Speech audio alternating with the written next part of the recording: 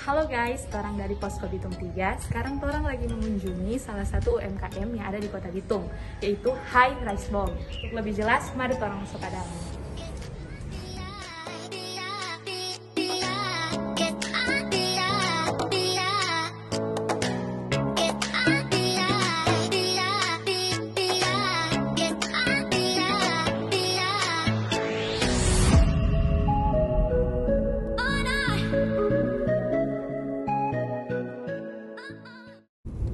Tiais Rice Bowl masih banyak oleh menu lain yang enak-enak.